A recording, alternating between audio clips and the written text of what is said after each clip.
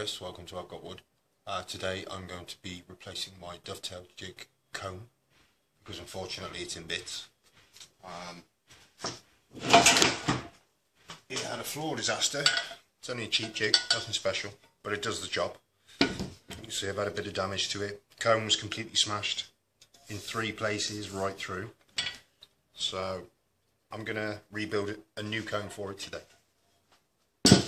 I've got a large strip of oak. Uh, it's laminated. It was a panel from an old cabinet door. Uh, what I've done is I've mounted the old comb to the underneath. And with that I'm going to use my flush cutting bit and the router and I'm going to follow that. Now the router bit, the bearing is exactly the right size for these pieces here. So hopefully I should have a, a nice even line on them though. I'm going to have to watch myself when I get to here because this tooth was chipped out probably the first day I got it.